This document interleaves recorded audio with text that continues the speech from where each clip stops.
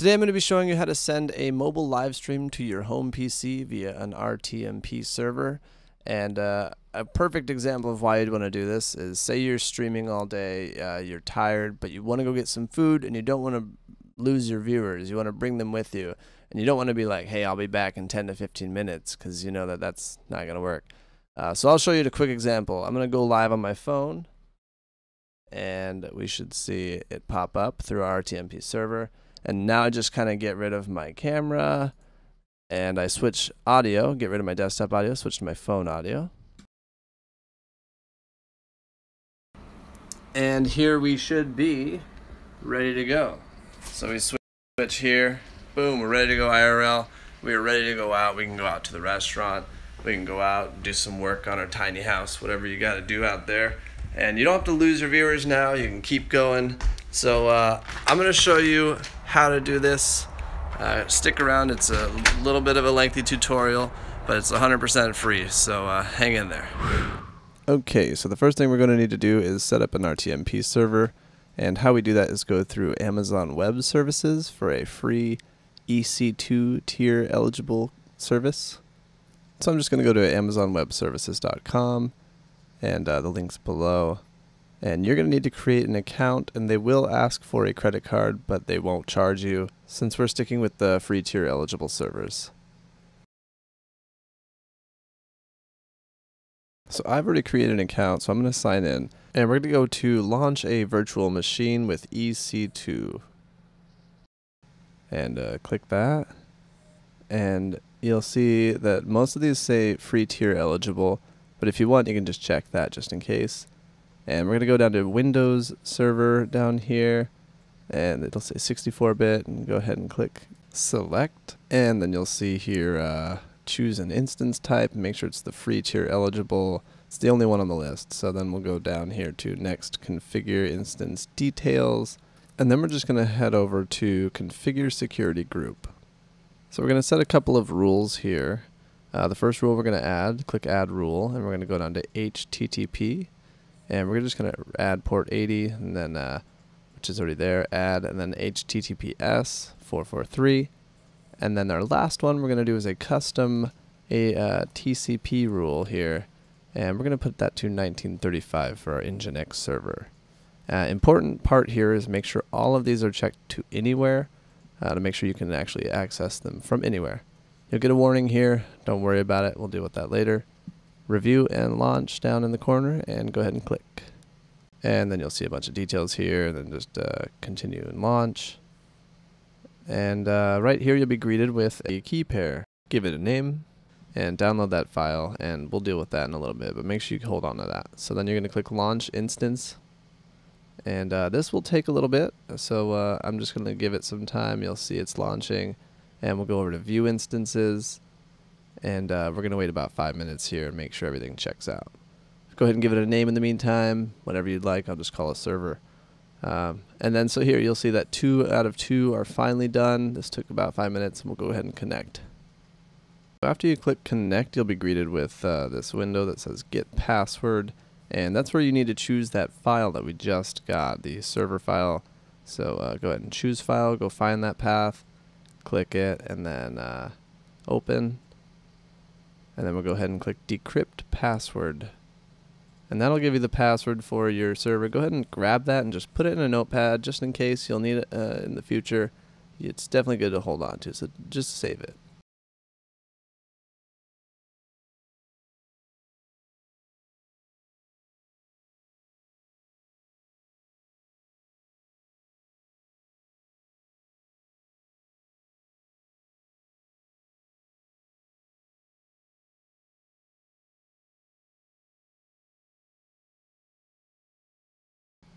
Great, so now that we've saved that, we're going to hit um, download remote desktop, and that's how we'll access our server.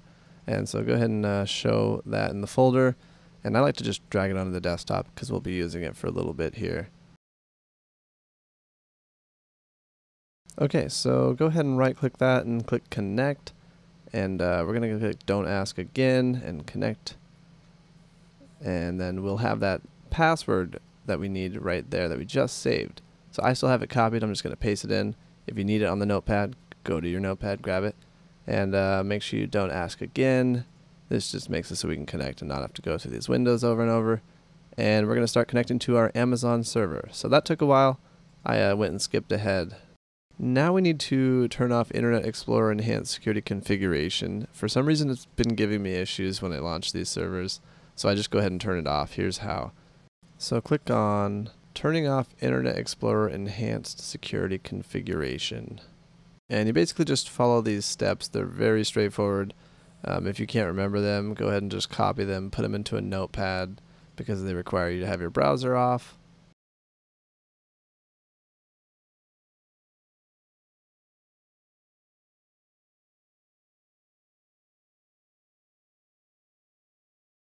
So I'll go down to search and I will search for the server manager, basically just following the steps there.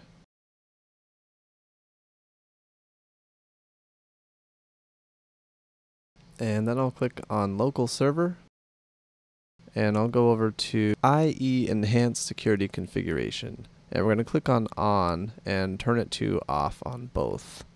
And click OK.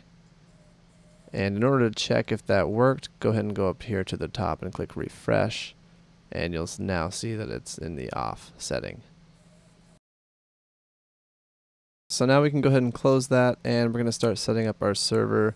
I'm going to open up Internet Explorer and go download Google Chrome. This is a good opportunity to do that if you'd like to. You don't have to, it just makes things a little easier. So then we'll type in Nginx Gryphon in a search engine. And come to the index of download link below. And come over here to 17113 and we're going to save that.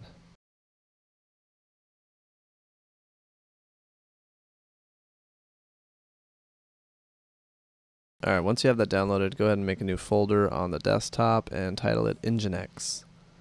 And we're going to go ahead and extract the uh, Nginx Gryphon download that we just got over to that folder.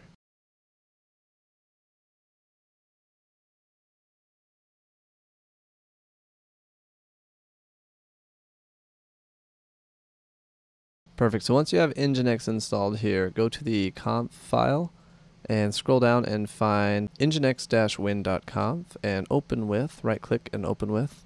Try apps on this PC and click notepad. We're going to open up. It looks a little scary at first. Don't worry. I'm just going to minimize it to not scare you as much, I guess. Um, all we're going to do is go and open up a web page here. And we're just going to add some code in. So go and open up Chrome um, and type in OBS Nginx RTMP. And the very first one should be how to set up your own private RTMP server using Nginx. So scroll down and find this big chunk of code here and just select all of that and we're going to go ahead and uh, just drag it over to our conf file. Make sure you put a return in first and then put all of your code in and then go up here to file and save as. This is a very important part you do. Uh, make sure you save this as a different name. So we're not going to just save it again. We don't want to replace it. We want to make our own. So we're going to put .conf at the end. Make sure it's all files, not just a text document and we're going to get rid of the dash win. So we'll have nginx.conf save as all files. We'll have this new file here. And then go ahead and open it again, make sure it works. Just look at it. Mine did this, didn't put the return in, so I just put that back, saved it, and we're good to go. So right now, if you just try to launch your Nginx server, it won't work quite yet. Uh, first, we need to go and download some Microsoft redistributables, visual redistributables. Uh, we need a 2010 SP1. Both of the links are down below. I'm going to type it in here so you can see.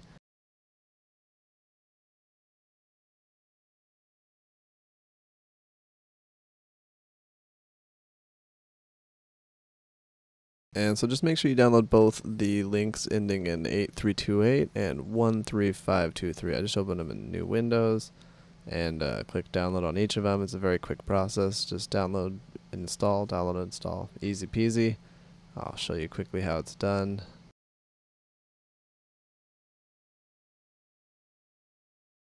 And while these are installing, I just want to give a huge shout out to Impulse9. Follow him. Without him, I would not have been able to put this together. I would not have been able to have an RTMP server. He has helped me so much with everything, every little question. Uh, just give him a follow. He's a great guy.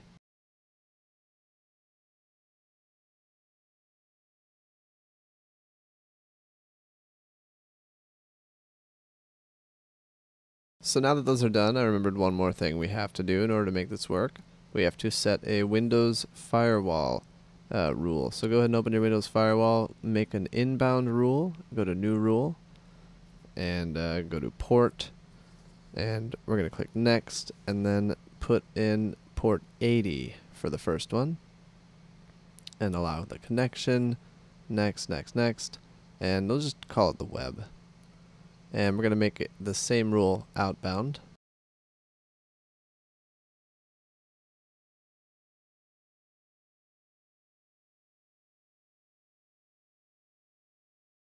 And for our second rule, same process. I like to start with inbound again, uh, new rule, and port. And this is for the Nginx server, 1935. And same for outbound.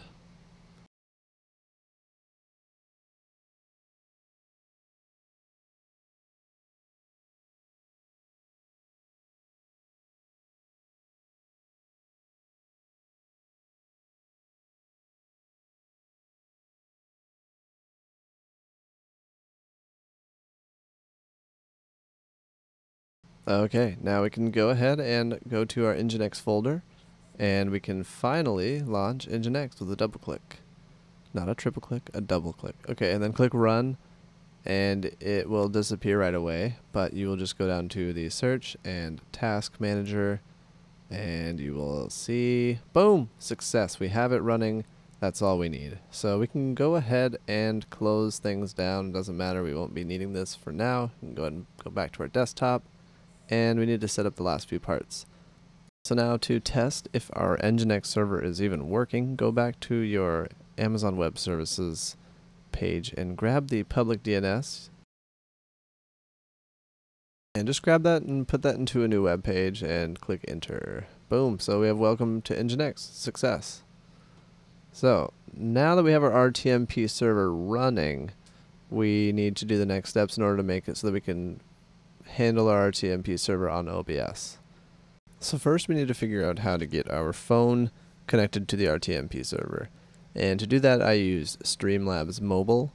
If you go to the App Store, just type in Streamlabs. Uh, That's a very popular app. Grab that and then you're going to want to go on into the app and in the top left corner you'll see little two bars there. Go ahead and click those bars and you'll see settings in the bottom Click that and you'll go to streaming platform.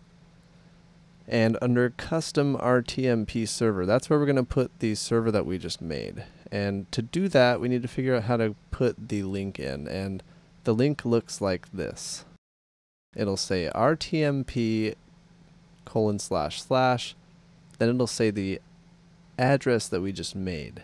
So your IP will look similar to this. If you made it on Amazon Web Services, it might be a regular IP address.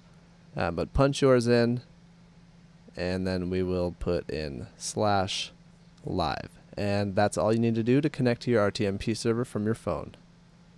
So then we need to figure out if it's even working. So we have this RTMP IP address slash live punched in our phone right now in the custom RTMP server line. And we need to figure out if it even works. So we're going to go ahead and download VLC Media Player which uh, can handle RTMP sources.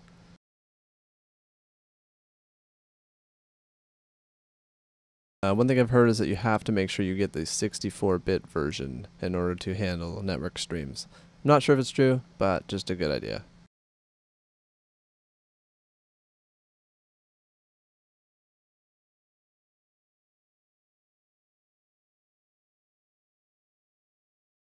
So download that, go through the installation process. I already had it installed. I'm not going to show you how to do that. It's very straightforward.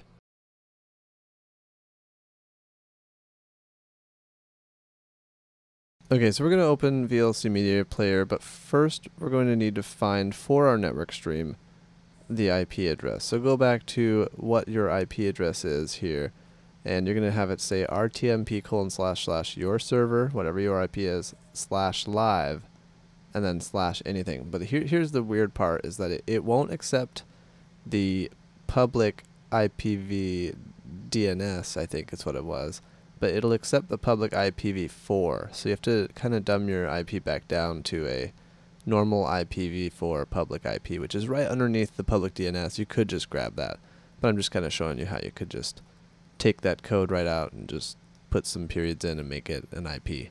So then you're going to go ahead and punch that exact line into your open network stream here and click play.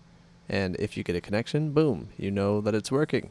So now your RTMP service is grabbing your phone signal and it's sending it through VLC media player. So now that we know that the connection from our phone to our RTMP server is active, um, we need to figure out a way to grab our our RTMP server in OBS. And to do that, you need to go in and add just a media source. And once you create that, you'll see this screen here.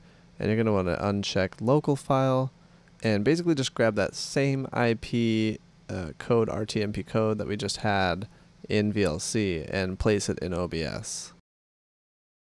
Now bear in mind that anytime you're trying to test your stream, you have to be live on your phone for it to show up.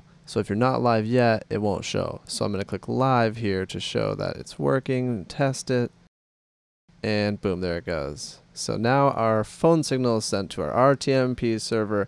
Our RTMP server is sending it back to OBS on our home PC. Your home PC then sends it to Twitch like normal as if you were streaming from home. I'll just resize my window, make sure it covers the whole thing, and we're good to go. And the great part is that we still get our BRB screen, we get all our alerts up here, we get we can customize it as if it's still a home PC, but we're streaming from our phone in IRL. And that way when you lose connection from your phone, you're not actually going offline at home, so your viewers won't see an offline ever unless your home PC disconnects. So then you wonder, how do you control OBS if you're not at home though?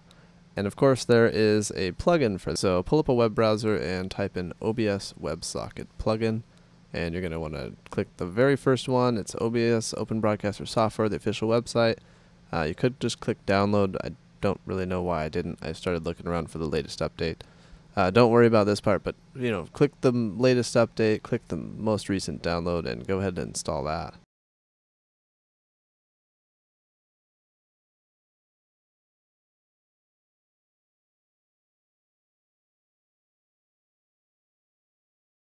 So I already had it installed, but basically you just install it, you right click it, run it. Um, it'll install basically directly to where OBS Studio is. You have to have OBS Studio for this to work. I, I tried it with Streamlabs as my browser at home, it doesn't work. So back to OBS for this. And uh, now you see right here in Tools, you'll see WebSocket Server Settings.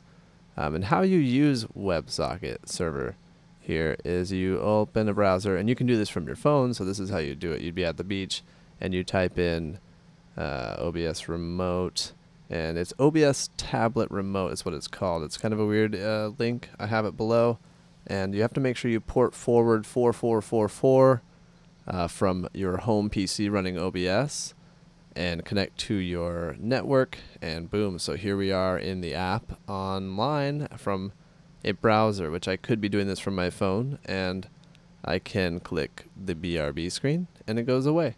I can click back and we're at the scene. There's a little bit of a delay with when you change scenes with the RTMP source, but hey, we have a solid connection from IRL.